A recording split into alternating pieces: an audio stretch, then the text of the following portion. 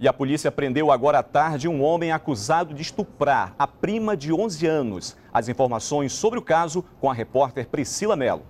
Pois é, Walter, o acusado tem 20 anos. Ele foi preso por estuprar a própria prima, que tem 11. Ele morava na mesma casa da menina, só que na garagem no bairro Santa Etelvina. E quem acusou o suspeito foi o próprio tio, que é pai da vítima. Ela contraiu doenças sexuais e ela passou por muitos exames médicos para que fosse comprovado quem abusou da menina. Ela relata que esse primo pulou o quarto, em razão de quarto da garagem para o quarto não estar forrado, haver um vão e nesse vão, é, ele sufocando a vítima, ele passou a cometer o abuso sexual.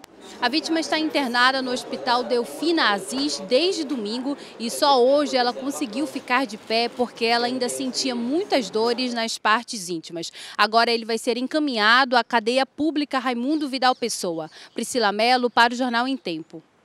Obrigado, Priscila. E a gente fala agora de eleição, porque este ano o pleito tem novas regras, entre elas a obrigatoriedade da inscrição do CNPJ para os candidatos e a diminuição do tempo de campanha. 2016 vai ser a primeira eleição com a aplicação da mini-reforma eleitoral. Por exemplo, será que nas ruas os eleitores sabem quando vai ser a votação? Sempre aquela data que sempre nós votamos, né? Dia 3. Data correta realmente a gente ainda não sabe, mas sempre era 3 de outubro. Erraram. Vai ser no dia 2 de outubro. Um domingo. Neste dia, os eleitores da capital e também do interior do estado vão escolher um prefeito, um vice-prefeito e os vereadores que vão representar o povo nos próximos quatro anos. Mas esta não é a única mudança, não. É uma preocupação do nosso presidente em fazer uma eleição ecologicamente correta e passa por um trabalho de conscientização dos candidatos que a Escola Judiciária já está fazendo em todo o estado e que até a primeira quinzena de, de agosto vai encerrar aqui no Amazonas. E os candidatos, será que estão por dentro das novas regras? Parece que não, porque mais de 3.500 candidatos correm risco porque ainda não têm a inscrição no CNPJ, obrigatório para este ano. Diretórios municipais não regularizarem o seu CNPJ até o prazo máximo de 15 de agosto, que é a data final para o registro de candidatura, esses partidos e, consequentemente, os seus candidatos não poderão concorrer às eleições de 2016. O tempo de campanha, que era de 90 dias, diminuiu para 45. E as mudanças não param por aí. Os candidatos, por exemplo, não podem mais fixar placas nos quintais das casas nem envelopar os carros. E para quem pretende trabalhar nas campanhas, só por meio de contrato firmado com o candidato. Além da mudança com a mini reforma eleitoral, outra novidade será o voto biométrico. Os eleitores de Manaus e de mais nove municípios do interior do estado já vão votar usando a digital. Vão ser uma, umas eleições diferenciadas para o nosso estado, por conta de nós termos conseguido realizar a biometria na capital, que foi um grande desafio. Além de Manaus, Careiro da Várzea e Castanho, Altazes, Iranduba, Manacapuru, Novairão, Presidente Figueiredo, Rio Preto da Eva e Itacoatiara vão ter o voto biométrico. São mais de 2 milhões 320 mil eleitores no Amazonas, mais de um milhão só aqui na capital. O número de urnas para este pleito também vai aumentar. Nós estamos é, falando no número de aproximadamente 7 mil urnas, né? É, que vão ser distribuídas em todo o estado. As convenções partidárias já começam no dia 20 deste mês. Depois disso, os candidatos já podem começar a fazer campanha. Há três meses das eleições municipais, as pré-candidaturas começam a esquentar o cenário local. Mas nas ruas, o momento conturbado, atravessado na política, tem deixado os eleitores cada vez mais desconfiados. Quais os principais problemas da cidade? O meu carro só vai quebrado, porque na rua de casa nem entra mais. Eu tenho que deixar na outra garagem da vizinha lá, porque na, na porta de casa entra tanto buraco, buraqueira. E você, o que espera do próximo prefeito? Nem todo mundo é igual, né? Às vezes um é ruim, mas o outro pode ser bom. É verdade? Então, essa é a esperança da gente. Há três meses para as eleições municipais, o sinal verde foi dado. Os pré-candidatos à prefeitura já começaram a aparecer, mas quem são eles e quais as propostas? Ontem, o ex-prefeito de Manaus e deputado estadual pelo PSB, Serafim Corrêa, anunciou a pré-candidatura. Hoje foi a vez do deputado federal Silas Câmara. O parlamentar também oficializou a aliança com o PSC. Nós temos muito, mas muito o que celebrar.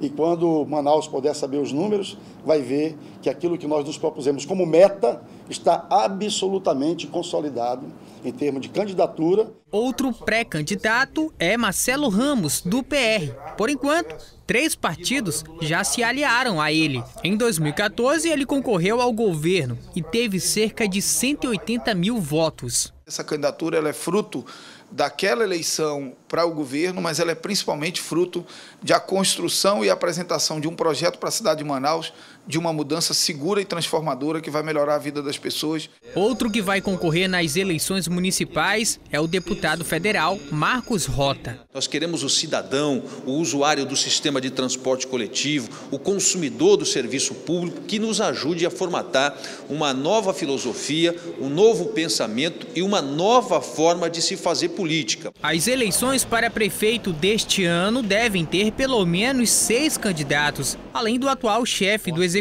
Municipal, Arthur Vigílio Neto, que deve concorrer à reeleição. Por enquanto, as alianças ainda estão sendo firmadas e os planos traçados, além de convencer a população de que serão capazes de melhorar a situação eles precisam superar a desconfiança de mais de um milhão de eleitores aqui da capital. É muita corrupção? Muito, demais. Demais mesmo. Ainda mais aqui na Amazônia, tem muito também, outros, outros estados, né? Para este cientista político da Universidade Federal do Amazonas, a falta de credibilidade tem afastado os eleitores das urnas. Esse cenário de crise, isso afasta muitas pessoas, é, a descrença de que o processo eleitoral ele é legítimo, de que ele vai mudar a vida das pessoas, é, não é mais levado em consideração, ou tem diminuído cada vez mais a crença que as pessoas têm no processo eleitoral. Pois é, e tem eleitor de olho nas informações para ficar por dentro do assunto e fazer a escolha certa. Um prefeito de uma cidade, não só o prefeito, todos têm que se unir e trabalhar em prol da população, não é verdade? É isso que falta, né? O julgamento de mais uma ação contra o governador José Melo e o vice Henrique Oliveira voltou a ser adiado. Nesse processo, eles são acusados de abuso de poder econômico e político. O julgamento, que havia sido suspenso com o pedido de vista do juiz Abraão Peixoto na segunda-feira, foi retomado hoje. E ele votou, julgou improcedente a acusação. Foi contra a condenação por abuso de poder econômico e político. Para ele, outras pessoas envolvidas nos casos não foram citadas no processo. O governador não poderia ser condenado duas vezes pelo mesmo crime e o pedido de cassação se repete em outras ações. Houve comprovado o uso da máquina, tanto é que no mérito ninguém consegue fugir dessa discussão. A discussão acaba se tornando uma, uma, discussão de preliminares, e repito, preliminares essas que nem a defesa teve coragem de suscitar quando a sua manifestação técnica nos autos. A acusação alega que houve abuso de poder durante o período eleitoral de 2014, como distribuição de tablets para alunos da rede pública, reajuste salarial de servidores públicos e entrega de equipamentos de saúde no interior, entre outros argumentos. O processo está sendo adiado porque tem uma discussão que precisa preceder a, a, a decisão sob pena de gerar nulidade. Então, toda a discussão é positiva. O relator do processo pediu vistas para analisar o voto do juiz Abraão Peixoto dado hoje. E por isso o julgamento foi adiado mais uma vez. Debates estão previstos para a semana que vem. O debate de segunda-feira pode influenciar até mesmo quem já votou, porque os votos podem mudar até o fim do julgamento. E um membro da corte ainda não manifestou o voto. É o jurista Felipe Turi. Até o momento são quatro votos pela cassação e um contra. Se condenado, o governador deve ter o diploma cassado e fica inelegível por oito anos. Em janeiro, José Melo teve o diploma cassado por compra de votos e recorre da decisão. E começa daqui a pouco o tradicional Festival Folclórico do CSU, no Parque 10, Zona Centro-Sul de Manaus. Os detalhes com o repórter Bruno Fonseca. É isso mesmo, Walter. O tradicional festival folclórico do CSU do Parque 10, aqui na zona sul da cidade, tem início hoje e vai até o dia 9 de agosto. Essa é a 36ª edição do festival, que contará com apresentações de grupos folclóricos, comidas típicas e parques de diversão. O local passou por uma reforma e teve a sua primeira etapa entregue na semana passada. E para quem quiser vir conferir de perto, o festival começa a partir das 7 da noite.